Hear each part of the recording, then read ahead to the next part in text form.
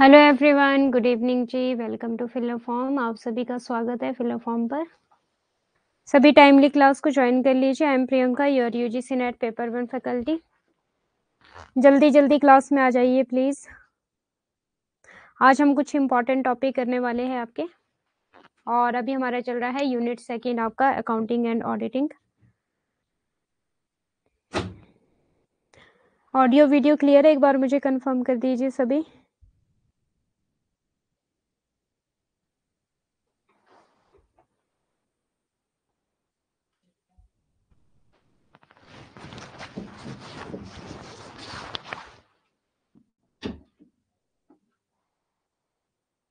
Audio video clear है, एक बार please confirm कर दीजिए और जल्दी जल्दी से जल्दी क्लास को ज्वाइन कर लीजिए। कल आपकी क्लास नहीं हुई थी बिकॉज़ कल मेरी तबीयत ठीक नहीं थी, जिस वजह से आपकी क्लास नहीं हो पाई। एंड मैं सोच रही थी कि आपकी मैं एक दो क्लास से मीन्स दो घंटे पढ़ाऊँ आपको बट फिर ये भी पॉसिबल नहीं है। देखते क्या करते हैं फिर हम। सुमन जी गुड इवनिंग कैसे हैं आप? समझ आ रहा है आपको कमर्स कोई डाउट किसी का? किसी यूनिट में? आप तो न्यू ज्वाइन हुए हो, सुमन जी, है ना?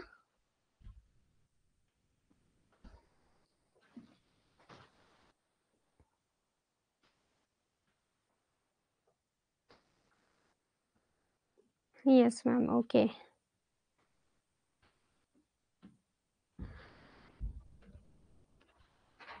previous classes देखी आपने? Recorded class unit one complete हो चुका है बिज़नेस इन्वायरमेंट एंड आपका इंटरनेशनल बिज़नेस और बहुत इंपॉर्टेंट है वहाँ से एग्ज़ाम में क्वेश्चन पूछे जाते हैं यूजीसी नेट में। और बार बार रिपीट होते हैं। मीन्स मैं ऑलमोस्ट आपको वही टॉपिक करवा रही हूँ जो एग्ज़ाम में पूछे जाने हैं क्योंकि जो मैं आपको पढ़ा रही हूँ वो करवा रही हूँ मैं आपको यूजीसी का जो जितना भी सिलेबस है ठीक है? ओके okay, करते हैं फिर क्लास को स्टार्ट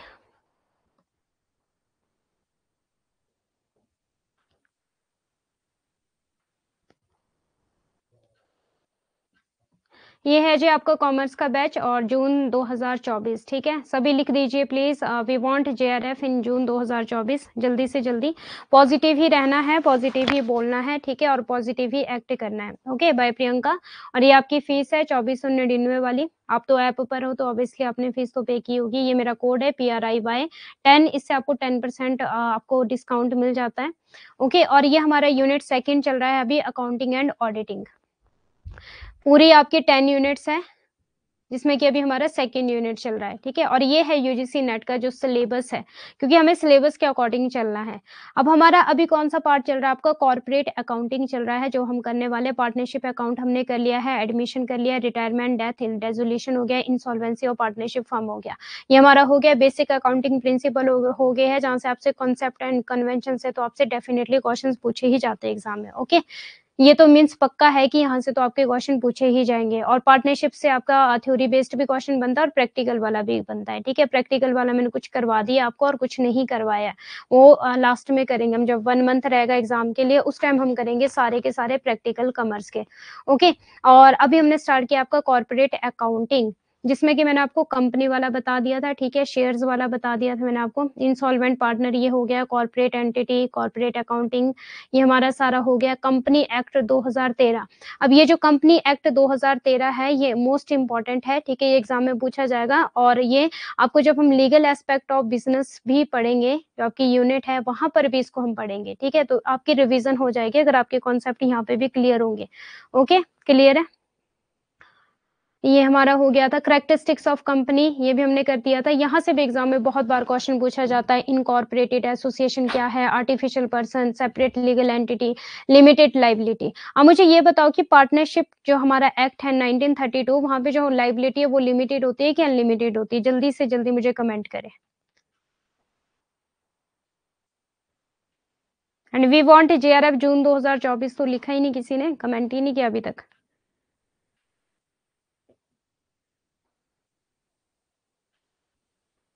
हाँ जी पार्टनरशिप एक्ट जो आपका 1932 है, वहाँ पे जो आपकी लाइबिलिटीज होती है, वो लिमिटेड होती है कि अनलिमिटेड होती है? बहुत बार एग्ज़ाम में यहाँ से क्वेश्चन पूछे गए हैं। साथ के साथ आपकी separate property transferability of shares ठीक है? यहाँ पे पब्लिक और प्राइवेट शेयर्स का मैंने ज़िक्र किया था। पब्लिक कंपनी और प्राइवेट कंपनी ठीक है? ये भी एग्ज़ाम में पूछी जाती है आपसे companies public company private companies government company foreign company charitable company Nidhi company unlimited होता है हाँ जी अनलिमिटेड होता है। यही वहाँ का एक लैक पॉइंट था, ठीक है? पार्टनरशिप में यही थी प्रॉब्लम कि वहाँ पे जो लाइबिलिटीज होती है वो अनलिमिटेड होती है, जिसकी वजह से किसको लाया गया था? एलएलपी को, ठीक है? 2008 में। लिमिटेड लाइबिलिटी ठीक है?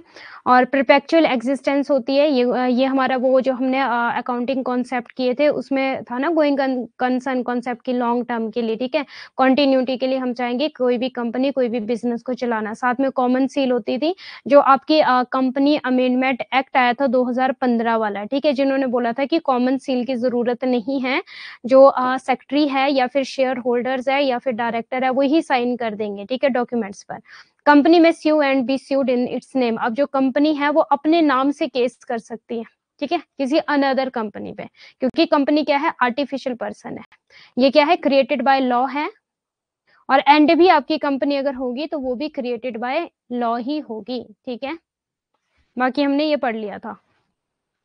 ओके इनकॉर्पोरेटेड एसोसिएशन ये हमारा सारा हो गया था। आ, आपको नोट्स मिल गए हैं क्या यस या नो में रिप्लाई कर दो मुझे। Memorandum of association and article of association is very very important यहाँ से भी एग्ज़ाम में क्वेश्चन पूछे जाते हैं। यहाँ पे थोड़ा सा ब्लर है क्योंकि इसकी इमेज एक्चुअली मुझे मिल नहीं रही थी क्लियर और जो क्लियर इमेज थी वहाँ पे मुझे उतना कॉन्टेंट उसका उतना बेटर नहीं था जिसका आ, इसका कॉन्टेंट ज़्यादा बेटर था। तो इसलिए मैंने यहाँ पे इंक्लूड की थी ये इमेज बट मैंने आपको बता दिया था कि क्या क्या लिखा है यहाँ पे। नोट्स मिल गए हैं यस या नो में रिप्लाई करो। ऑथोराइज्ड शेयर कैपिटल यहाँ से भी डेफिनेटली क्वेश्चन पूछे जाते हैं। इशूड कैपिटल ठीक है? अनइशूड कैपिटल लाइक हमारे पास टू लैख या फिर हाँ टू लैख हमारे पास कैपिटल है टेन ईच पे, ठीक है? ये बन जाएगा आपका ट्वेंटी लाख, ठीक है, इस तरह से, और मान लो इसमें से 18 लाख इशू कर दिए और दो लाख जो थे वो इशू नहीं किए, ठीक है अनइशूड वो हो गया सब्सक्राइब्ड हो गया। अब जो इशू कैपिटल थे, उसमें से जो पब्लिक थी, ठीक है पब्लिक ने सब्सक्राइब किए सब्सक्राइब किए सपोज़ आपके 16 लाख, और जो पब्लिक ने सब्सक्राइब नहीं किए, वो समझ लीजिए आपकी टू लाख जो थे वो सब्सक्राइब नहीं किए, ठीक है, इसमें से जो कंपनी ने कॉल्ड अप किया, वो था आपका सपोज़ आपके फिफ्टीन लाख, ठीक है कॉल्ड अप और अनकॉल्ड अप कौन सा होगा जिसको बुलाया ही नहीं जिसको कॉल्ड अप ही नहीं किया था। ठीक है वो हो, हो जाएँगे मान लो आपके वन लैख ठीक है इस तरह से। ओके? और पेड अप कैपिटल जिन्होंने पूरी पेमेंट कर दी थी ठीक है और कॉल इन एरियर जिन्होंने पेमेंट नहीं की थी ओके? और अनकॉल्ड अप कैपिटल, इसको रिज़र्व कैपिटल भी बोला जाता है और इसको रिज़र्व के लिए रखा जाता है कि जब कंपनी लिक्विडेट होगी या फिर जब कंपनी पे मान लो कोई इंसॉल्वेंट हो जाएगी कंपनी या फिर लिक्विडेट हो जाएगी या कंपनी किसी घाटे में चलेगी तो उसके लिए रिज़र्व करके रखे गए हैं ये वन लैख, ठीक है? और ये तब बुलाएगी जब कंपनी को बहुत ही ज़्यादा ज़रूरत होगी पैसों की या फिर कैपिटल की, ठीक है? ये हमने सारा मैंने आपको कॉन्सेप्ट बता दिया था। यहाँ से भी आपके एग्ज़ाम में क्वेश्चन पूछे जाएँगे और डेफिनेटली क्वेश्चन पूछे जाएँगे। मीन्स अभी तक जितने भी टॉपिक करवा रही हूँ, यहाँ से क्वेश्चन पूछे ही जाएँगे। तो प्लीज़ इन सबको क्लियर कर लेना रिविजन कर लेना एक बार ओके यहाँ पे देख लो एग्ज़ाम्पल आपको दिया था मैंने, और types of share capital authorise ठीक है, ये तो बता दिया आपको, बाकी तो इसकी थ्योरीज है सब्सक्राइब्ड ओके पेड अप ये सारा बता दिया था। इक्विटी शेयर्स भी हमने किया था, और प्रेफरेंस शेयर्स भी हमने किया था, ठीक है? अगर मैं इक्विटी शेयर की बात करूँ तो लॉन्ग टर्म होते हैं ये, और यहाँ पे मेनली क्या होता है, जो डिविडेंट होता है, वो फिक्स्ड नहीं होता। डिविडेंड फिक्स्ड नहीं होता है इक्विटी शेयर में। और जो इक्विटी शेयर होते हैं, ये कहीं ना कहीं ओनर्स होते हैं, ठीक है? क्या होते हैं, ये ओनर्स होते हैं कंपनी के और इनके पास वोटिंग राइट्स भी होते हैं। ओके okay जी क्लियर है? इतनी इतनी चीज़ें आपको एज इट इज़ ऐसे निमोनिक की तरह याद रखनी पड़ेगी, दो चार चीज़ें जो पूछी ही जाएगी एग्ज़ाम में, ठीक है? और जो आपके इक्विटी शेयर्स होते हैं non redeemable these shares are issued publicly and non redeemable ये बताऊँगी अभी क्या होता है, ठीक है? और हमारा स्वेट इक्विटी शेयर ये भी मैंने बता दिया था आपको। स्वेट का मतलब क्या होता है? जो जिन्होंने खून पसीना बहाकर मीन्स शेयर्स परचेज किए होते हैं, ठीक है? उनको एक्स्ट्रा जो मिलेगा ऑर्गेनाइजेशन आफ्टर रिवार्ड जिनको मिलेगा एम्प्लॉयज़ को, ठीक है? जिन्होंने मेहनत की होगी। और स्वेट का मतलब ही क्या होता है? पसीना। और director for outstanding performance for granting sweat equity इनको दिया जाता है। मीन्स इनको एक रिवार्ड दिया जाता है कि यार इन्होंने बहुत ज़्यादा मेहनत की है हमारी कंपनी के लिए, ठीक है? उनको जो एक्स्ट्रा शेयर मिलते हैं, उसको बोलते हैं sweat equity share the term sweat equity pertain to an individual non monetary contribution to an organization. Means इनको रिवार्ड के रूप में दिया जाता है, ठीक है? मॉनेटरी होता है जो पैसों से रिलेटेड होता है नॉन मॉनेटरी होता है जो आपके पैसों से रिलेटेड नहीं होता है ओके क्लियर है? स्वेट इक्विटी शेयर, ये भी एग्ज़ाम में पूछा जाता है। संगठन अक्सर उत्कृष्ट प्रदर्शन के लिए कर्मचारियों या निदेशकों को स्वेट इक्विटी शेयर देकर पुरस्कृत करते हैं। शब्द पसीना इक्विटी, किसी संगठन में किसी व्यक्ति के गैर मौद्रिक योगदान से संबंधित है, ठीक है? कि उसने बहुत ज़्यादा योगदान किया है किसी कंपनी के लिए, ठीक है? तो उसको क्या दिया जाता है? रिवॉर्ड दिए जाते हैं। पेड अप कैपिटल ये हो गया था हमारा रिज़र्व कैपिटल ये हो गया था प्रेफरेंस शेयर 42 सेक्शन 42 ये भी इंपॉर्टेंट है, याद रखना प्लीज़ ठीक है? प्रेफरेंस शेयर जिनको प्रेफरेंस दिया जाता है नेम से ही क्लियर है, ठीक है? प्रेफरेंस दिया जाता है मीन्स की जो डिविडेंट है, वो कैसा होता है यहाँ पे? फिक्स्ड होता है। और डिविडेंट होता है क्या एक्चुअली ये होता है आपका पार्ट ऑफ़ प्रॉफिट ठीक है? इसको प्रॉफिट ही बोला जाता है। प्रॉफिट का हिस्सा जो है किसी कंपनी का, ठीक है? तो उसको क्या बोलते हैं हम? डिविडेंड बोलते हैं और प्रेफरेंस मीन्स इनको अलग से एक प्रेफरेंस दिया जाता है, ठीक है? नेम से क्लियर है, इनको प्रेफरेंस यहाँ पे डिविडेंड जो होता है वो फिक्स्ड होता है। चाहे कंपनी को प्रॉफिट हो रहा है, फिर चाहे कंपनी को लॉस हो रहा है, इनको डिविडेंड देना ही पड़ेगा। और सबसे पहले अगर डिविडेंड देते हैं तो प्रेफरेंस शेयर होल्डर को सबसे पहले डिविडेंड मिलता है, इसके बाद इक्विटी शेयर होल्डर को डिविडेंड मिलता है। बट जो प्रेफरेंस शेयर होल्डर होते हैं, इनके पास वोटिंग राइट नहीं होते। बहुत बार एग्ज़ाम में यहाँ से क्वेश्चन पूछा जाता है, ठीक है? नहीं होते इनके पास voting voting rights. Company act preference shares in the share capital portion granting holder priority in dividend payment and share capital repayment ठीक है? अब एट टाइप के आपके प्रेफरेंस शेयर होल्डर्स, ठीक है? वो बताऊँगी अभी आपको। ये हमारा हो गया था सारा, ठीक है? ये भी कर दिया था। ये difference is very very important यहाँ से ना आपका सारे के सारे कॉन्सेप्ट क्लियर हो जाते हैं, ठीक है? ये तीन, चार, पाँच, छह जो नंबर होते हैं ना वोटिंग वोटिंग राइट हो गया रिक्वायरमेंट फॉर फॉर्मेशन टाइप्स ये देखो एट टाइप्स ये भी हम करेंगे आज, ठीक है? तो थोड़ा सा जल्दी जल्दी पढ़ेंगे। समझ आ रहा है सभी को? ये रिवीजन चल रही है अभी? ये पढ़ा चुकी हूँ मैं ऑलरेडी ओके okay, अब हम करते हैं आपका टाइप्स ऑफ़ कंपनी है ठीक है? इसको मैं आपको लीगल एस्पेक्ट ऑफ़ बिज़नेस में पढ़ाऊँगी डिटेल में इन कंपनीज़ के type companies limited by guarantee unlimited companies one person companies private company public company यहाँ से तो डेफिनेटली क्वेश्चन पूछा जाता है ठीक है? पब्लिक कंपनी में जो शेयर है वो इजिली पब्लिक को इश्यू किए जाते हैं बट प्राइवेट कंपनी में ऐसा नहीं होता ठीक है? पब्लिक कंपनी में मिनिमम आपके सेवन मेंबर होते हैं और मैक्सिमम अनलिमिटेड हो जाते हैं, ठीक है? और आपकी प्राइवेट कंपनी में मिनिमम टू मेंबर होते हैं और मैक्सिमम आपके टू हंड्रेड मेंबर्स का होना इंपॉर्टेंट है, ठीक है? दो तीन चीज़ें हैं इसमें पब्लिक और प्राइवेट कंपनी जो बहुत बार एग्ज़ाम में पूछी जाती है। होल्डिंग एंड सब्सिडरी कंपनीज़ होगी यहाँ से भी एग्ज़ाम में क्वेश्चन पूछा जाता है। Associate company limited by share company in terms in government companies होगी फॉरन कंपनी चैरिटेबल कंपनीज़ होगी जिनको नॉन प्रॉफिट ऑर्गेनाइजेशन भी बोला जाता है। डॉर्मेट कंपनीज़ होगी ठीक है? डॉर्मेंट कंपनीज़ जैसे कि लाइक म्यूचुअल फंड्स हो गए, ठीक है? इस तरह की जो कंपनीज़ होती है, निधि कंपनीज़ होगी पब्लिक फाइनेंशियल इंस्टीट्यूशन हो गए ये भी इंपॉर्टेंट है, जो लोन वगैरह भी प्रोवाइड करवाते हैं, ठीक है? इस तरह की जो कंपनीज़ होती है फाइनेंशियल नेम से क्लियर है इंस्टीट्यूशन ओके तो ये भी हम सारे का सारा पढ़ेंगे बट डिटेल में पढ़ेंगे ओके ये पढ़ेंगे हम लीगल एस्पेक्ट ऑफ़ बिज़नेस में। हाँ आप एक बार खुद से बिन पे सर्च कर लेना, वैसे तो आपने पढ़ा होगा पहले भी। अब हम देखते हैं liquidation of a company okay हाँ जी, अभी तक जल्दी से ना मुझे किसी ने थम्स अप दिया है, ना किसी ने लिखा है। We want JRF in June 2024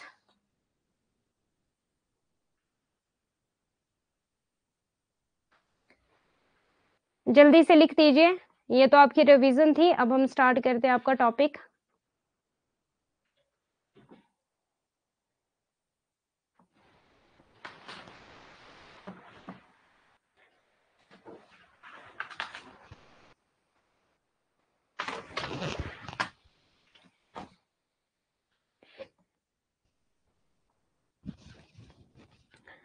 actually गर्मी बहुत ज़्यादा लग रही है। Okay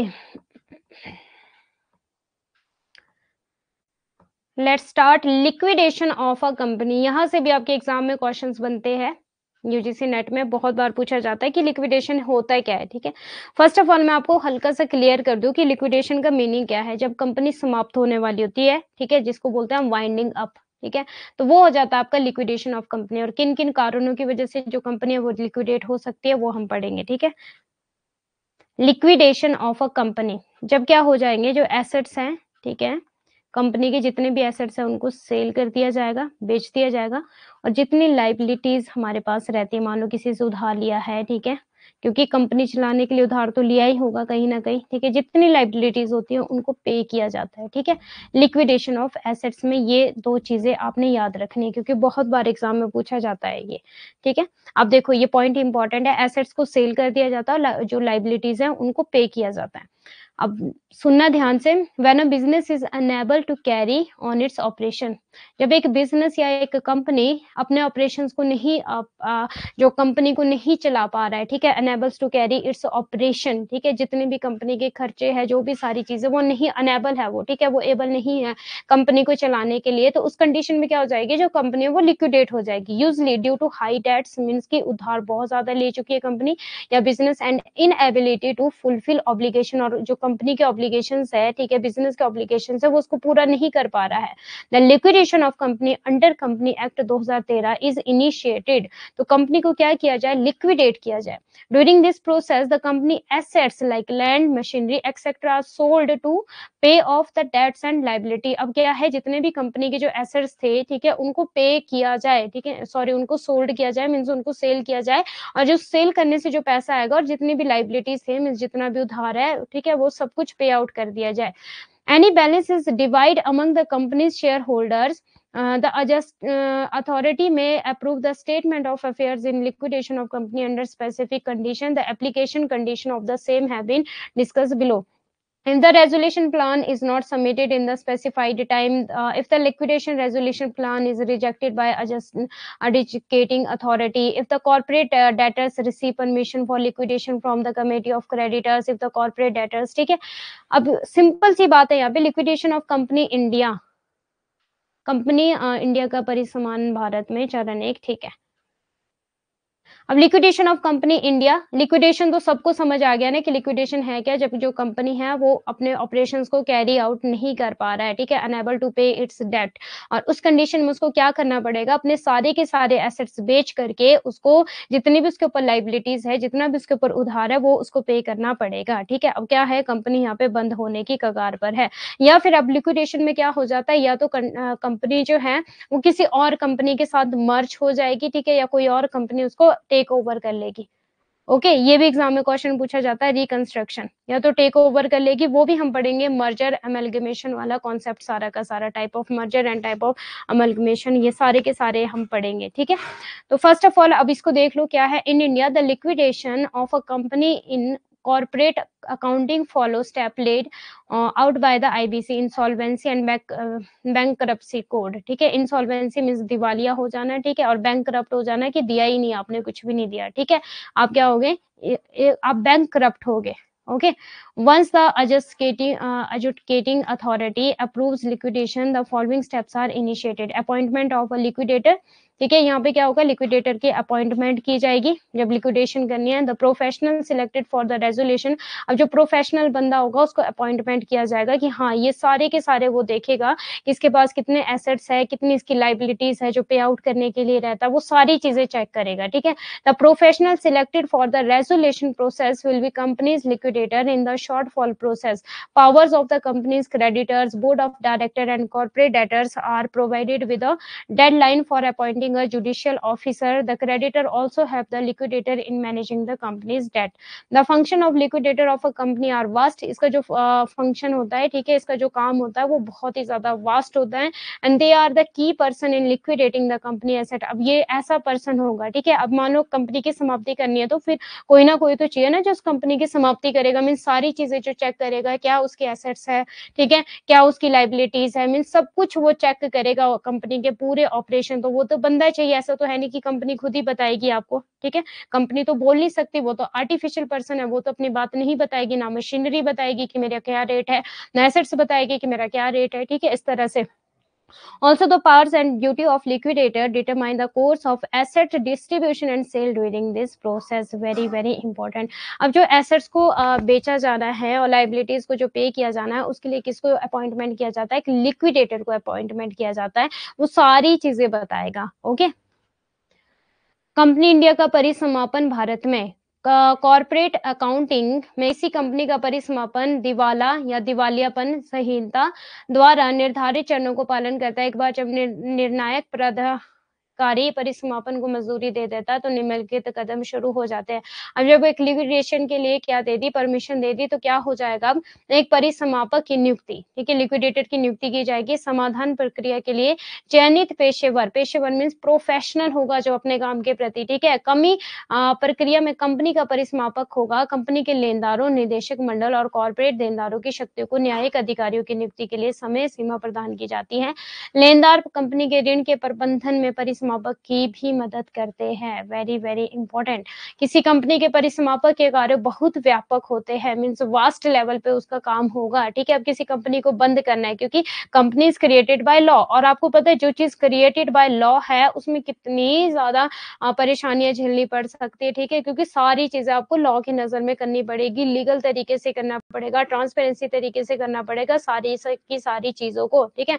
और वे कंपनी की संपत्ति को समाप्त करने में महत्वपूर्ण व्यक्ति होते हैं। अब जो कंपनी है, उसको पूरी तरह से उनको क्या करना है, समाप्त करना है, बोलू तो डिस्ट्रॉय कर देना है कंपनी को पूरी तरह से, ठीक है? साथ ही कंपनी परिसमापक की शक्ति और कर्तव्य प्रक्रिया के दौरान परिसंपत्ति, वितरण और बिक्री की दिशा निर्धारित करते हैं। ओके जी? क्लियर है सभी को? लिक्विडेशन का कॉन्सेप्ट क्लियर है सभी को? कोई डाउट किसी का तो प्लीज़ पूछ लीजिए एक बार। पब्लिक अनाउंसमेंट अब क्या होगा? The next step is launching the public announcement informing liquidation of a company and claim submission अब यहाँ पे पब्लिक को भी अनाउंसमेंट कर दिया जाएगा कि हाँ भाई, अब जो ये कंपनी है, ये लिक्विडेट होने जा रही है। The public notice must be announced within five days ये इंपॉर्टेंट है। And claim will be issued in I B B I schedule second the creditor can file their claims to liquidator within अब जो creditor है means की जो लेनदार है, ठीक है, जिन्होंने उधार दिया हुआ है ठीक है? और वो क्या करेंगे? वो liquidator within thirty days of commencement of the process furthermore register value have to appoint within seven days of the start of the company's liquidation अब ये क्या करेंगे? जितना भी इनका बनता है ठीक है वो थर्टी दिन के अंदर अंदर उनको लिक्विडेटर को आ, देना पड़ेगा एक क्लेम ठीक है? Verification and approval of creditor claims अब जो क्रेडिटर्स का बनता है the creditor must submit their claims ठीक है? उन्होंने जितना भी दिया उनका जितना भी पैसा बनता है उनको सबमिट करना पड़ेगा क्लेम्स अपने लिक्विडेटर के पास thirty days after the commencement ठीक है, उसके कंपनी के बंद होने से पहले, ठीक है बंद होने हाँ the liquidator has to acknowledge receipt of a creditor claim within seven days of receiving them furthermore the liquidator can request additional document from the creditor for verification के लिए, ठीक है। अब देखो, सार्वजनिक घोषणा क्या होगी? चरण सेकंड में फ़र्स्ट क्या है हमारा? Appointment of liquidator second second क्या है हमारा? पब्लिक अनाउंसमेंट ये एग्ज़ाम में पूछे जा सकते हैं क्वेश्चन ठीक है? अगला कदम कंपनी के परिसमापन और दावे प्रस्तुत करने की सूचना देने वाले सार्वजनिक घोषणा शुरू करना है। वाली सार्वजनिक घोषणा शुरू करना है। सार्वजनिक सूचना की घोषणा पाँच दिनों के भीतर की जानी चाहिए और दावे आई बीबीआई अनुसूचित दो में जारी किए जाएँगे। लेनदार प्रक्रिया शुरू होने के तीस दिन के भीतर परिसमापक के पास अपना दावा दायर कर सकते हैं। इसके अलावा पंजीकृत मूल्यों को कंपनी के परिसमापन की शुरुआत के सात दिनों के भीतर नियुक्त किया जाना चाहिए।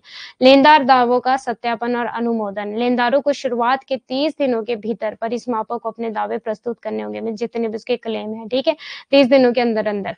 परिसमापक को लेनदार के दावे प्राप्त होने के सात दिन के भीतर उनकी प्राप्ति की सूचना मीन्स तीस दिन कंपनी बंद होने से तीस दिन पहले, ठीक है?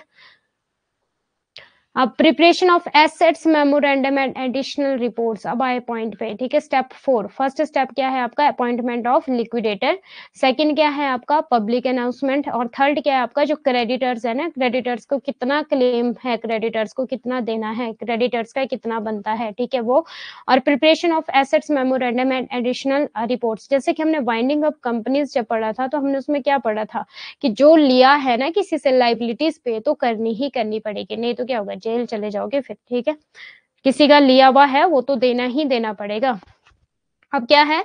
जो आपका preparation of assets memorandum and additional reports within 75 days of the liquidation date liquidation का मतलब क्या है जो समाप्ति होनी है कंपनी की ठीक है the liquidator has to submit a memorandum of assets that contain the valuation of the different asset अब जितनी भी उसके assets की value बनती है वो कहाँ पे होंगे memorandum of assets में the liquidator is responsible for other documents such as preliminary report आपकी minimum consultation minutes annual report and final report ये सारा का सारा काम liquidator का होगा तभी तो है ये बहुत ज़्यादा वास्ट मीन्स वो कंपनी के सारे ऑपरेशन को देखेगा, ठीक है? परिसमति ज्ञापन और अतिरिक्त रिपोर्ट तैयार करना, परिसमापन विधि के 75 दिनों के भीतर। Formation of the liquidation asset the liquidation asset is built for the corporate debtors and include all property wherein debt is patented intangible asset tangible immovable asset security property where the court decide ownership these step outline the process how to calculate liquidity position of a company the liquidity form and assets account means कि जितने भी assets उन्होंने sell करने हैं वो चाहे tangible है चाहे वो intangible है ठीक है और patents है immovable assets है जो move नहीं किए जाते एक एक जगह से दूसरी जगह को, उसको क्या बोला जाता है? इमूवेबल एसेट्स बोलते हैं, ठीक है? सिक्योरिटी है प्रॉपर्टी उन सारे का सारा लेखा जोखा ठीक है? परिसमापन परिसंपत्ति का गठन अब टाइप्स ऑफ़ कंपनी लिक्विडेशन अब ये तो हमने पढ़ लिया कि हाँ जो लिक्विडेट होनी है कंपनी वो कैसे कैसे होगी। हमने स्टेप पढ़े कि सबसे पहले तो अपॉइंटमेंट किया जाए एक लिक्विडेटर जिसके पास सारा का सारा होगा कि एसेट्स की वैल्यू क्या है लाइबिलिटीज को कितना देना है, फिर पब्लिक में अनाउंसमेंट करना है, फिर जो क्रेडिटर्स का देना है, उनका क्लेम ठीक है, तीस दिन के अंदर अंदर, फिर उसके बाद जो एसेट्स है, ठीक है, वो चाहे टेंजेबल इनटेंजेबल उनकी सबकी वैल्यू ठीक है मेमोरेंडम ऑफ़ एसेट्स में। अब हम देखेंगे टाइप्स क्या क्या है लिक्विडेशन के, ये भी एग्ज़ाम में बहुत बार पूछा जाता है।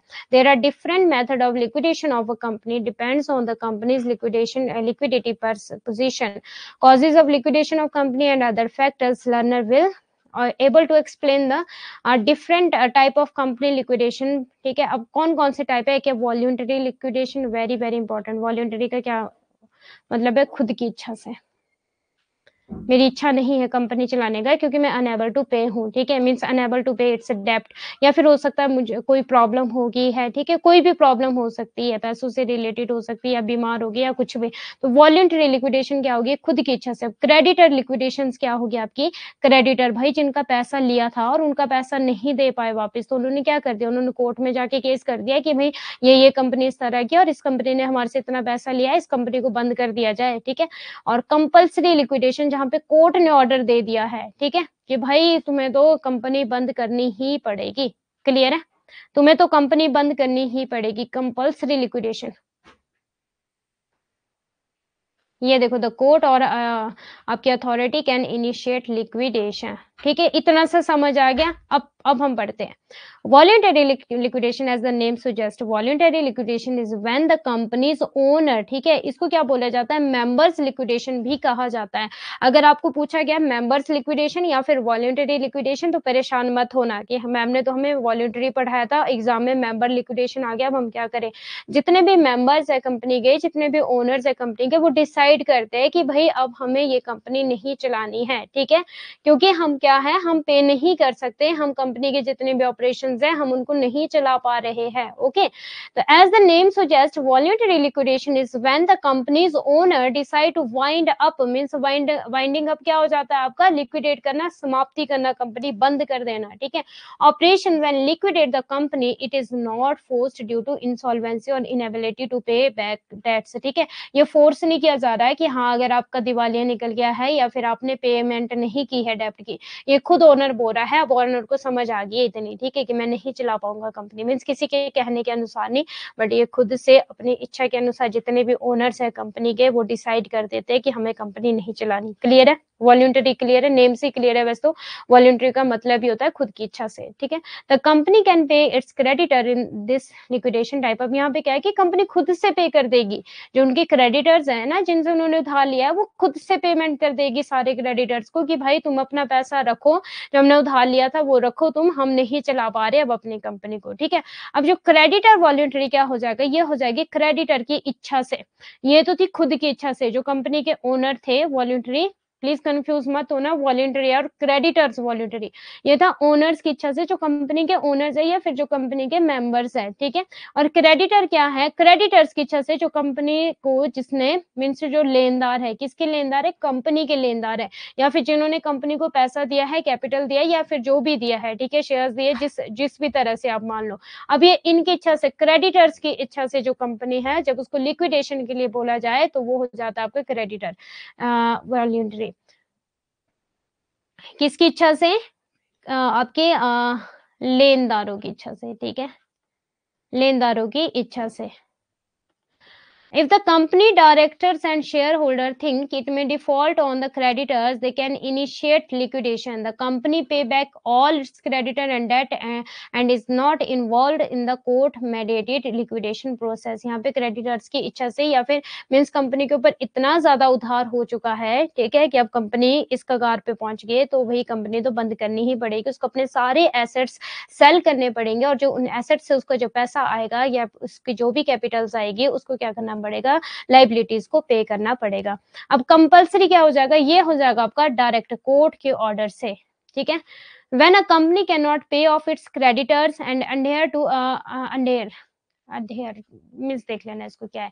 To financial obligation the court और एन आपके अथॉरिटी कैन इनिशिएट लिक्विडेशन ठीक है? अब यहाँ पे सिंपली अगर मैं बात करूँ तीनों चीज़ों को, ठीक है?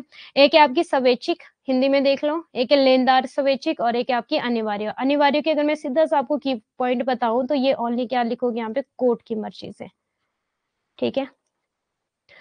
कंपनी लिक्विडेट हो जाएगी। और स्वैच्छिक की अगर मैं बात करूँ, जो कंपनी के ओनर्स है, ठीक है, या फिर इसको मेंबर्स भी बोला जाता है, उनकी मर्ज़ी से।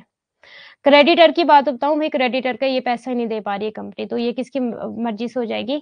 आपके लेनदारों की मर्ज़ी से। लिक्विडेट ठीक है? और लिक्विडेट जब भी कंपनी होगी फ़र्स्ट ऑफ़ ऑल उसको अपने एसेट्स तो सेल करने ही पड़ेंगे, क्योंकि जब कंपनी बंद होनी है तो एसेट्स का क्या करेगी वो? वो तो कुछ भी नहीं करेगी एसेट्स का उसको सेल करने ही पड़ेंगे अपने एसेट्स और उसी से वो क्या करेगी लाइबिलिटीज को पे करेगी। इज़ इट क्लियर सबको क्लियर है ये कॉन्सेप्ट लिक्विडेशन का? जल्दी से बोलिए प्लीज़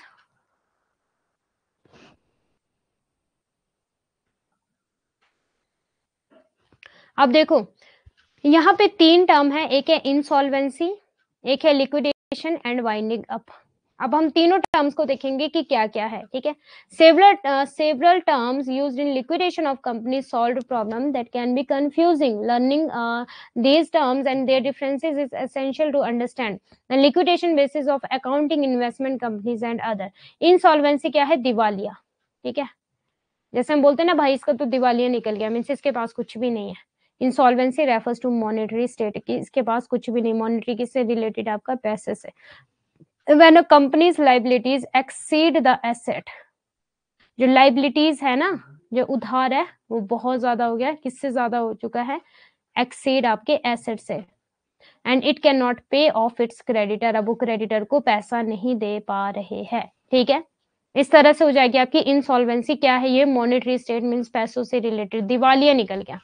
और अगर हम बात करें आपकी the major difference between liquidation and insolvency of a company is that insolvency is related to monetary state when liquidation refers to company's existence and आपका ऑपरेशन लिक्विडेशन का क्या मतलब हो गया? जो भाई कंपनी का अस्तित्व है ना, उसी को ही खत्म कर देना है। बट इंसॉल्वेंसी का क्या मतलब हो गया? दिवालिया निकल गया। क्लियर है? एग्जिस्टेंस एंड ऑपरेशन जो है कंपनी के, उनको सबको समाप्त कर दिया जाए, उनको सबको बंद कर दिया जाए।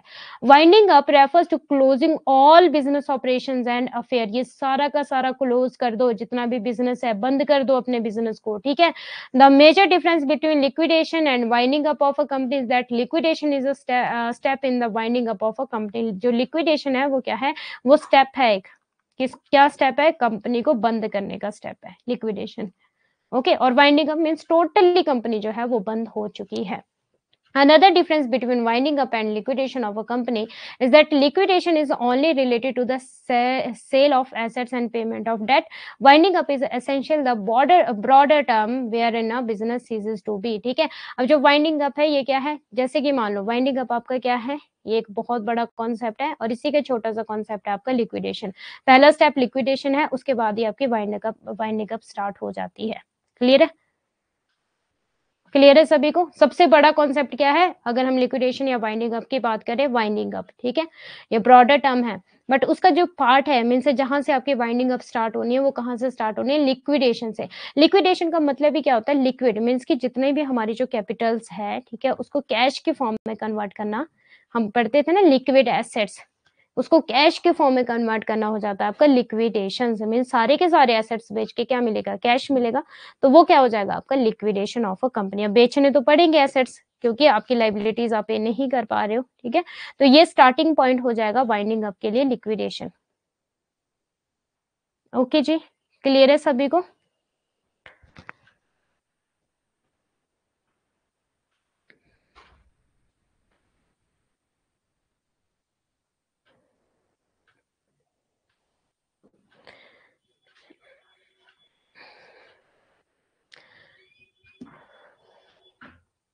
दिवालिया दिवाला, ठीक है? दिवालिया या दिवाला, दिवालिया, ठीक है? दिवालिया वैसे ज़्यादा बेटर है। दिवाला तो उतना ठीक नहीं लग रहा है। परिसमापन और समापन, ठीक है? वैसे मैंने बता दिया, आप लोगों को इंग्लिश में हिंदी की ज़रूरत है क्या किसी को?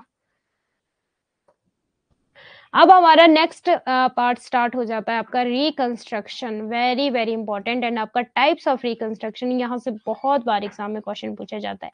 इंटरनल एंड आपका एक्सटर्नल वेरी वेरी इंपॉर्टेंट यहाँ से भी एग्ज़ाम में बहुत बार क्वेश्चन पूछे जाते हैं ओके रिकंस्ट्रक्शन रिपेयर करना, किसी चीज़ को पुनर्निर्माण करना, जैसे हम बोलते हैं ना रोड इज़ रिकंस्ट्रक्शन मीन्स जब रोड का रिकंस्ट्रक्शन किया जाता है, ठीक है? बिल्डिंग का रिकंस्ट्रक्शन किया जाता है, दोबारा से किसी चीज़ को रिपेयर करना, ठीक है? उसको क्या बोलेंगे हम? रिकंस्ट्रक्शन अब देखो रिकंस्ट्रक्शन क्या है? Reconstruction of a company is the process of reorganising a company's legal operation means reorganise करना, ठीक है? अगेन रीऑर्गेनाइजिंग करना, अलग तरीके से अब क्या करेंगे? हम ऑर्गेनाइज करेंगे। ओनरशिप अदर स्ट्रक्चर ठीक है? अब देख लो ये इंपॉर्टेंट है यहाँ पे legal operation ownership and other structure ये सारा का सारा रिकंस्ट्रक्शन में इंक्लूड हो जाता है। New set of obligation are created by revaluing जो एसेट्स है, ठीक है, उनको भी क्या करना है रीवैल्यूड कर देना उनको भी। उनकी जो वैल्यू पहले थी, वहाँ से वैल्यू को चेंज कर देना, उसको क्या बोलेंगे हम revalued the new company's asset and reassessing liabilities the transfer of business refer to transferring a company's operation to a new entity ठीक है रिकंस्ट्रक्शन कर देना। किसी कंपनी का पुनः निर्माण किसी कंपनी की कानूनी परिचालन, स्वामित्व और अन्य संरचनाओं को पुनर्गठित करने की प्रक्रिया है। नई कंपनी की संपत्तियों का पुनः मूल्यांकन और अब इसमें टू टाइप का होता है, एक होता है इंटरनल और एक होता है आपका एक्सटर्नल ये पढ़ेंगे। रिकंस्ट्रक्शन सभी को क्लियर है रिपेयर करना एक तरह से, ठीक है? पुनर्निर्माण करना। गोल्स एंड ऑब्जेक्टिव क्या है आपके रिकंस्ट्रक्शन के? To overcome the problem of overcapitalization, massive cumulative losses and the uh, other overvaluation of the assets ठीक है over जो capitalization है उसको overcome करना सारी problems ठीक है जित, जितनी जितनी बातें यहाँ पे लिखी है to simplify the structure of a company where it becomes too complicated मान लो कंपनी का स्ट्रक्चर इस तरह से बना है कि वेरी वेरी कॉम्प्लिकेटेड है तो उसको क्या कर देना सिंप्लीफाई कर देना कंपनी के स्ट्रक्चर को to change the face value of company share when necessary और जो कंपनीज़ के मान लो फेस वैल्यू है, ठीक है? उसको भी चेंज कर देना शेयर्स की जो फेस वैल्यू है, वो भी रिकंस्ट्रक्शन में आ जाएगी। फिर to generate a surplus by writing off cumulative losses and writing down overvalued assets to obtain more money by the issuance of new shares को इशू कर देना, ठीक है? जिससे मोर मनी हमें मिले, जैसे कि बाय बैक ऑफ़ शेयर भी करते हैं, ठीक है? और to produce funds for working capital requirement assets replacement कर देना एसेट्स की, ठीक है? रिप्लेसमेंट कर देना मीन एक की जगह दूसरा एसेट्स ठीक है? ये मान लो जैसे हम बोलते हैं ना किसी को कि चल यार मैं तेरे को ये वाली मशीनरी देता हूँ तो मुझे इसके बदले में नई मशीनरी दे दे, ठीक है? The addition of balancing equipment modernisation of plant and machinery अब जो प्लांट एंड मशीनरी उनको क्या किया जाए? मॉडर्न किया जाए। अब मेरे पास ट्रेडिशनल होंगे, अगर बहुत पुराने कई कई सालों से पढ़े ठीक है? उनको मॉडर्न किया जाए उनको नए तरीके से। एंड अदर पर्पसेस ठीक है? क्लियर है सभी को? बहुत ही ज़्यादा इजी है। अब यहाँ से कोई भी पॉइंट आ जाए आपके एग्ज़ाम में। अगर आपको रिकंस्ट्रक्शन का मीनिंग पता लग गया है तो ठीक है, अब यहाँ से जो भी क्वेश्चन पूछा जाए, आप आंसर दे दोगे। पुनर्निर्माण के लक्ष्य। अत्यधिक पूंजीकरण, बड़े पैमाने पर संचयी घाटे और परिसंपत्तियों के अधिक मूल्यांकन की समस्याओं पर काबू पाने के लिए। किसी कंपनी की संरचना बहुत जटिल हो जाने पर उसे सरल बनाना है। आवश्यकता पड़ने पर कंपनी के शेयरों का अंकित मूल्य बदलना है। सच्चाई संचयी घाटे को बट्टे खाते में डालकर और अधिक मूल्य वाली संपत्तियों को बट्टे खाते में डालकर अधिशेष उत्पन्न करना, नए शेयर जारी करके अधिक धन प्राप्त करना, कार्यशील पूंजी आवश्यकताओं परिसंपत्तियों ठीक है? इजी है सारे कॉन्सेप्ट ज़्यादा टफ नहीं है आपका। रिकंस्ट्रक्शन अगर आपको पता लग गया कि क्या है तो आप ये इजिली कर पाओगे। अब डिफरेंट टाइप्स ऑफ़ रिकंस्ट्रक्शन ये वाला इंपॉर्टेंट है एग्ज़ाम में पूछा जाएगा external reconstruction of a company and आपका इंटरनल रिकंस्ट्रक्शन ऑफ़ कंपनी देखो एक्सटर्नल क्या होता है? ध्यान देना प्लीज़ मेरी बात पे. When a firm has been losing money for many years and is in the midst of a financial crisis, ठीक है? क्राइसिस आपको पता ही है, जब हम बहुत ज़्यादा क्या अकाल पड़ जाता है ना किसी चीज़ का।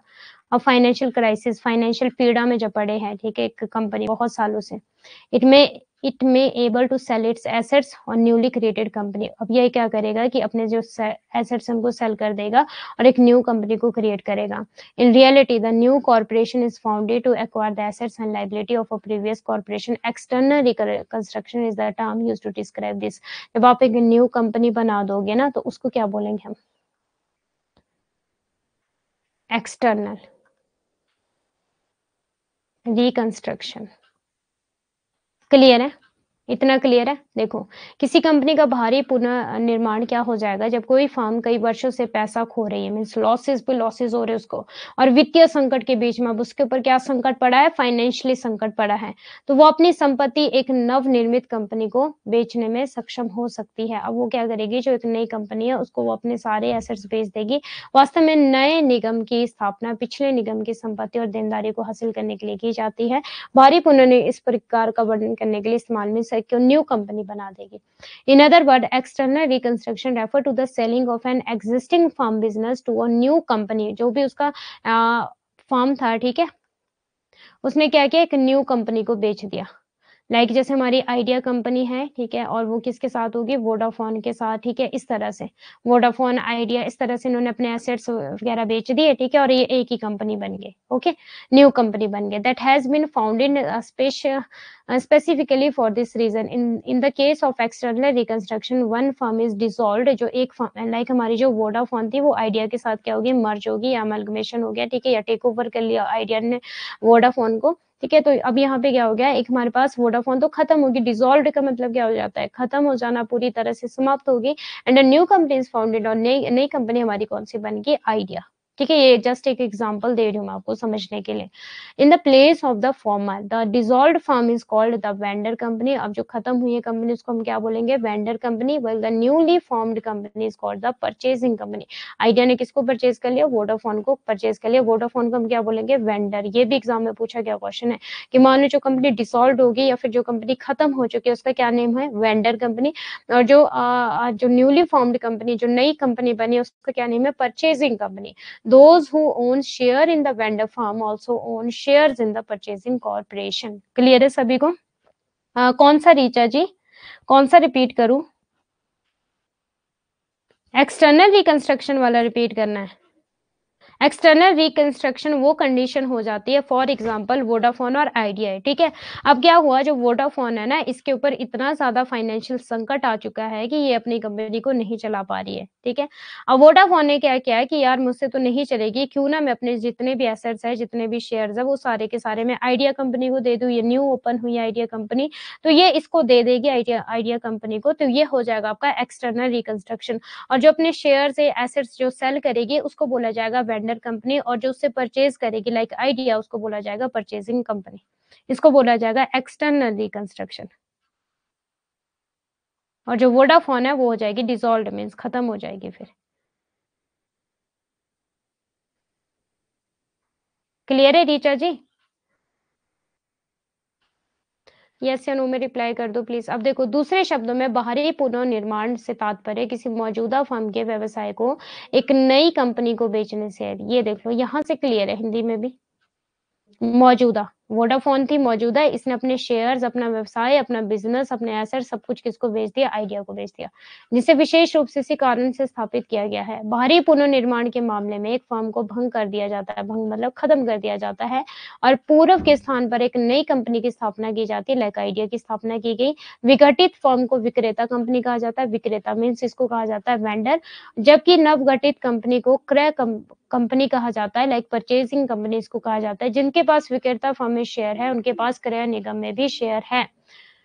ओके okay, अब है आपका internal reconstruction of a company yes ma'am okay internal क्या हो जाएगा? यहाँ पे न्यू कंपनी नहीं बनेगी। मीन्स जो हमारे ऑपरेशन है ना कंपनी के बिज़नेस के वहाँ पे उन्हीं को ही चेंजेस किया जाएगा। क्लियर है? यहाँ पे न्यू कंपनी नहीं बनेगी बस इतना सा ध्यान रखना। ओके इंटरनल नेम से क्लियर है इंटरनल देखो, जो एक्सटर्नल लोग हैं, उनसे तो हम क्या करते हैं, रिश्ते नाते तोड़ देते हैं पूरी तरह से बट जो इंटरनल होते हैं, हमें उनको सुधारना पड़ता है. यहाँ पे सुधारेंगे, रिश्ते नाते नहीं तोड़ेंगे हम, यहाँ पे सुधार देंगे, ठीक है, सुधारना. ये मतलब ऐसा निमोनिक सा है, इसको याद रख लेना इंटरनल में क्या करेंगे, हम रिश्तों को सुधारेंगे कंपनी को हम सुधारेंगे बट हम किसी को बेचेंगे नहीं. क्लियर है? अब देखो internal reconstruction is the internal reorganization अब जो मान लो पहले हमारी ऑर्गेनाइजेशन थी, ठीक है, जो भी हमने ऑर्गेनाइज किया था, ठीक है सिस्टमेटिक वे में होती है ना, सारी की सारी ऑर्गेनाइजेशन उसको हम रीऑर्गेनाइज कर देंगे। Of a company's financial structure को हम रीऑर्गेनाइज कर देंगे, ठीक है। मान लो स्ट्रक्चर पहले बहुत ज़्यादा कॉम्प्लिकेटेड था, अब हम उसको सिंपल बना देंगे। The present firm is allowed to continue operation ठीक है। अब वो क्या करेगी, अपने ऑपरेशन कंटिन्यू करेगी बट सुधार करेगी। In most cases, the company's share capital is lowered to write off its prior accumulated losses. आंतरिक पुनर्निर्माण किसी कंपनी की वित्तीय संरचना का आंतरिक पुनर्गठन है ये बहुत बार एग्ज़ाम में क्वेश्चन पूछे गए हैं और ये क्या किया जाता है एक्सटर्नल और इंटरनल जो आपके रिकंस्ट्रक्शन है ठीक है उनको एक मीन्स की ये किया जाता है कि एक्सटर्नल में आपका इंटरनल का एग्ज़ाम्पल दे देंगे और इंटरनल में एक्सटर्नल का एग्ज़ाम्पल दे देंगे आपको कंफ्यूज करने के लिए ठीक है? वर्तमान फर्म को परिचालन जारी रखने की अनुमति है very very important point but जो आपका एक्सटर्नल है उसमें जो वर्तमान फर्म है वो तो बिक गई वोडाफोन तो बिक गई किसको? आइडिया को ठीक है? ज़्यादातर मामलों में कंपनी की शेयर पूंजी को उसके पूर्व संचित घाटे को बट्टे खाते में डालने के लिए आ, कम किया जाता है ओके राइट ऑफ़ कर दिए जाते हैं उसके। अब देखो, अब ये वाला इंपॉर्टेंट पॉइंट है इमेज से आपको और ज़्यादा क्लियर हो जाएगी सारी की सारी चीज़ें, ठीक है? Internal reconstruction and external reconstruction internal reconstruction refer to the method of corporate restructuring reorganizing revalue ठीक है? इतनी बातें बता दी तो वो कहाँ आ जाएगा आपको? मीन्स हमने क्या, जो मेरी कंपनी है ना, मुझे उसको सुधारना है। सिंपल लैंग्वेज में अगर मैं बात करूँ, मुझे अपनी कंपनी, अपने बिज़नेस को सुधारना है। Where in existing company is not liquidity जो एग्जिस्टिंग कंपनी है मीन जो कंपनी चल रही है एग्जिस्टिंग उसको बोलते हैं, उसको लिक्विडेट नहीं करेंगे मीन्स उसको समाप्त नहीं करेंगे, ठीक है? To form a new one नई कंपनी नहीं बनाएँगे क्लियर है?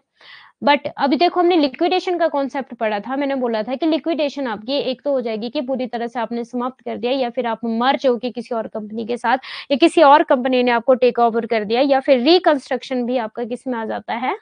लिक्विडेशन में हो जाता है। बट इंटरनल रिकंस्ट्रक्शन लिक्विडेशन में नहीं होगा। एक्सटर्नल रिकंस्ट्रक्शन आपका लिक्विडेशन के फॉर्म में आ जाएगा जब आप एक न्यू फॉर्म बनाओगे। मीन्स आपने पहली फॉर्म देखो लिक्विडेशन का मतलब ही क्या? आपको अपनी जो कंपनी है या फॉर्म जो है उसको समाप्त करना है, ठीक है?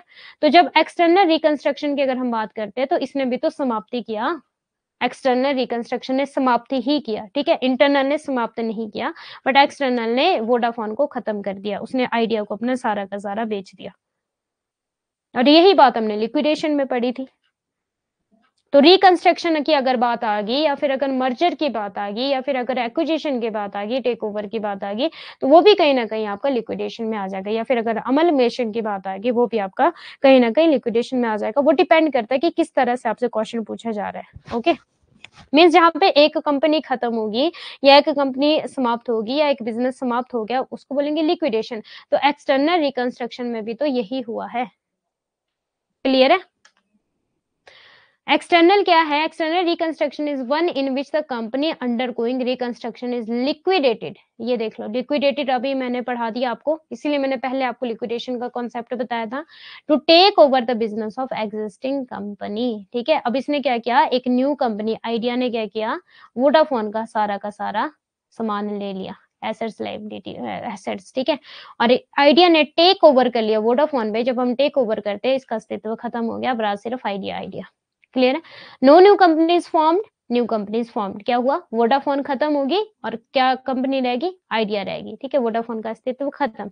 Balance sheet of the company contain and reduced ठीक है? No specific term are use in the balance sheet अब बैलेंस शीट क्या करोगे आप जब आपने कंपनी खत्म कर दी तो?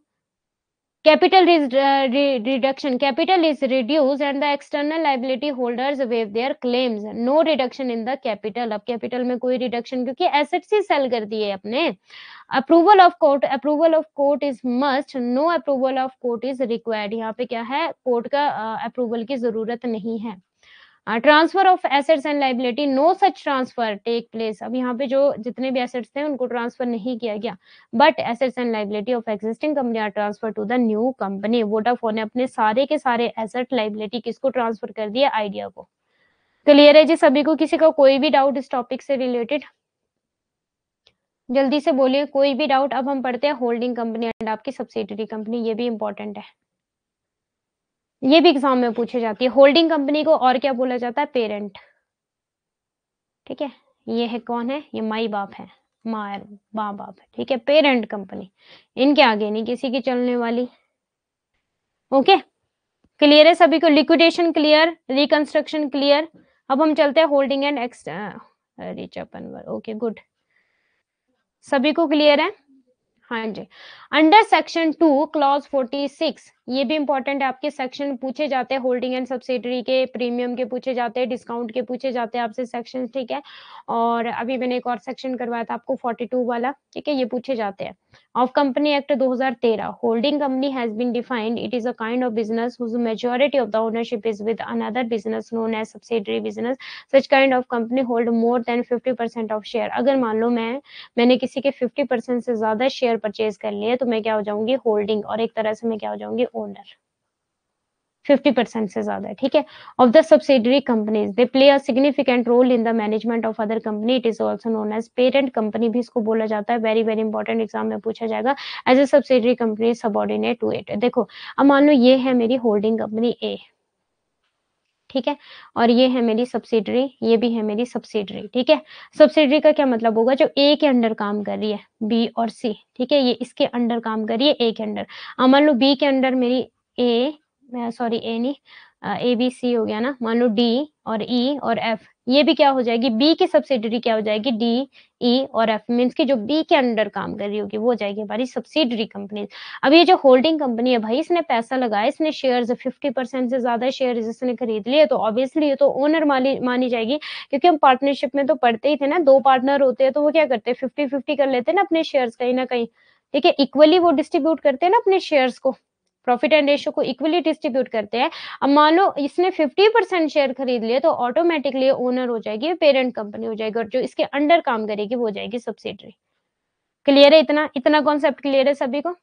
हिंदी में देख लो एक बार।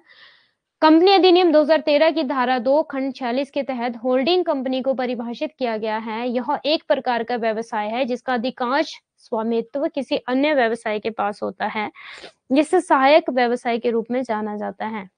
इस प्रकार की कंपनियों के पास सहायक कंपनी है, ये इसकी सहायक कंपनी मीन सब्सिडरी ठीक है? एक की सहायक कंपनी बी है और सी है, ठीक है?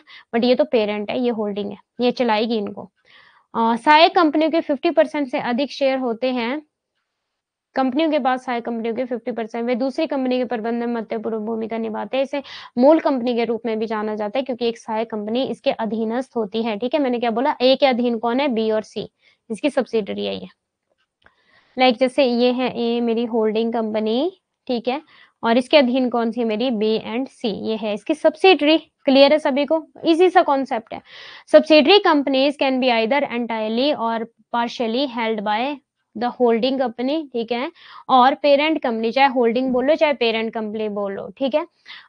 Although both are different entities the holding companies play significant role in decision making आपके प्रोसीजर ऑफ़ द सब्सिडरी अब जो होल्डिंग कंपनी है, ये ज़्यादा डिसीज़न मेकिंग इसकी होने वाली है, ना कि सब्सिडरीज की होगी, ठीक है? क्योंकि बी और सी किसके अधीन है? ए के अधीन है, ये ए के अंडर होकर चलेगी subsidiary company are also govern by the companies law such companies don't have any interference with the management of the holding company में कोई भी इंटरफियरेंस नहीं कर सकती, क्योंकि ये एक तरह के ओनर है, ये पेरेंट है, ठीक है?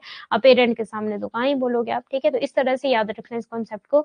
On other hand holding companies have inference is manage of the subsidiary company they play a very important role in the decision making of subsidiary company के बिहार पे ये डिसीज़न ले सकते हैं बट सब्सिडरी कंपनी यहाँ पे मैनेज नहीं करेगी ए को। ना ही बी और सी जो है, वो डिसीज़न लेगी ए के ए के बिहाफ पे। क्लियर है? सभी को ए डिसीज़न ले सकता है मीन्स होल्डिंग कंपनी या पेरेंट कंपनी डिसीज़न मेकिंग हो सकती है मैनेजमेंट भी करेगी, ठीक है?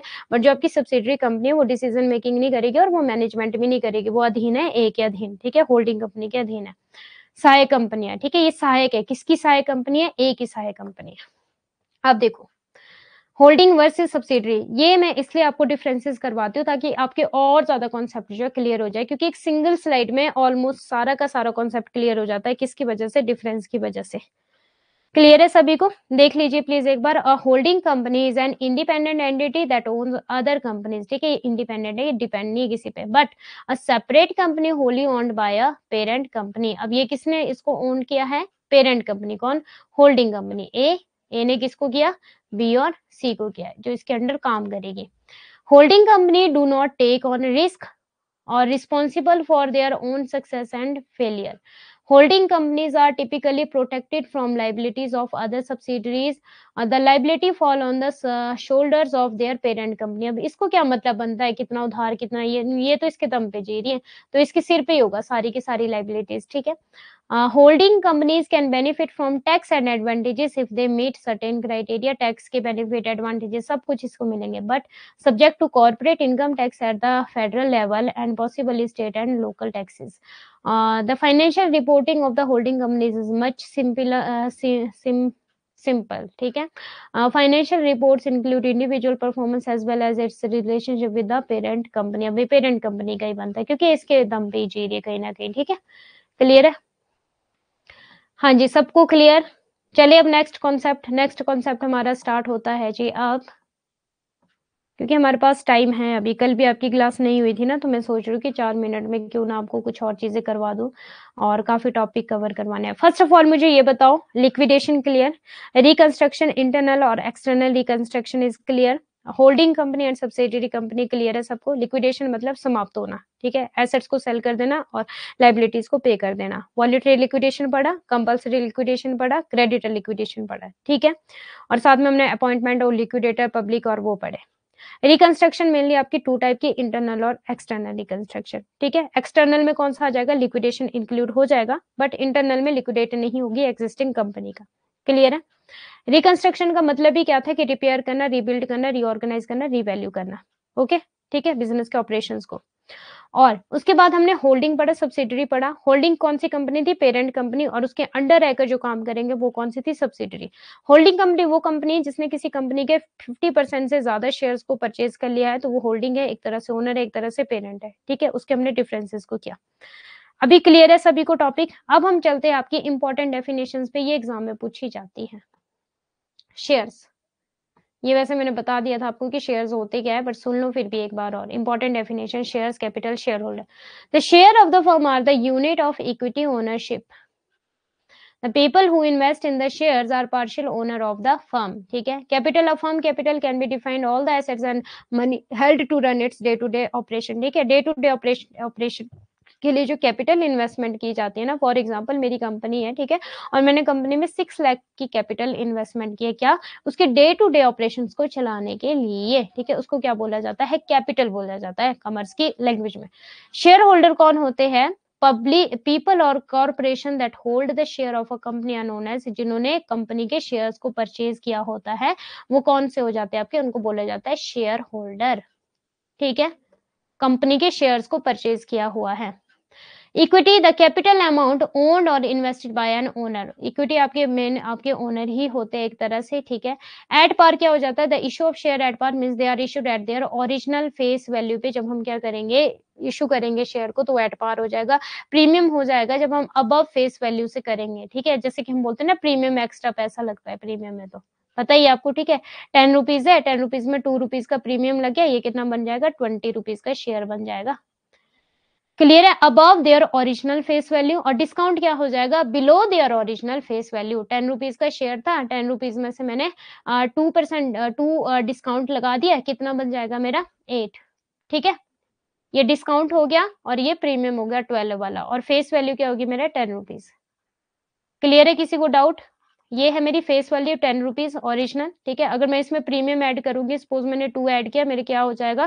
ट्वेल्व हो जाएगा मेरा, ठीक है? विद प्रीमियम और अगर मैं यहाँ पे डिस्काउंट ऐड करूँगी मीन्स माइनस करूँगी तो मेरा क्या हो जाएगा? एट हो जाएगा मेरा, ठीक है? एट रुपीज़ शेयर हो जाएगा। हाँ जी न्यू टॉपिक के लिए छोटे छोटे से टॉपिक है प्लीज़ देख लो एक बार। On the basis of bonus share right share sweat equity मैंने करवा दी voting and non dividend share value share share buy back ठीक है। कल हम करेंगे preference share and types of preference share ठीक है। और फॉर फीचर्स ऑफ़ शेयर कर लेंगे री रीइश्यू ऑफ़ शेयर कर लेंगे हम अकाउंटिंग ट्रीटमेंट ठीक है। और इसके साथ साथ हम अमलगमेशन वाला, फिर हमारे ये वाला टॉपिक ना खत्म हो जाएगा। कौन से वाला? कॉर्पोरेट अकाउंटिंग ठीक है। अमलगमेशन कर देंगे और आपका हम करेंगे मर्जर एक्विजिशंस ठीक है? दो दिन फिर से लग जाएँगे। एक्विजिशन लिक्विडेशन ऑफ़ कंपनी हो गया होल्डिंग कंपनी हो गया रिकंस्ट्रक्शन ऑफ़ कंपनी हो गया। अब हमारा एक्विजिशन मर्जर अमलगमेशन बचता है और for future and reissue of share बचता है, ठीक है? कल करेंगे फिर इस टॉपिक को। हाँ न्यू टॉपिक कल करेंगे। सभी को क्लियर है प्लीज़ अभी जितना भी पढ़ाया, कोई डाउट किसी का? ओके जी ओके ठीक है so thank you so much all of you और बाय बाय टेक केयर और प्लीज़ रिवीजन करते रहिए सभी। और प्रीवियस ईयर क्वेश्चन पेपर लगाना ना भूले, क्योंकि डेफिनेटली आपके प्रीवियस ईयर क्वेश्चन पेपर आपकी बैकबोन का काम करेगी यूजीसी नेट जेआरएफ क्वालिफाइड करने के लिए। और जून में ही जेआरएफ क्वालिफाइड करना है ओके जून में लेकर चलो कि मुझे जून में ही करना है। क्लियर है सभी को? Okay so thank you so much bye bye God bless you all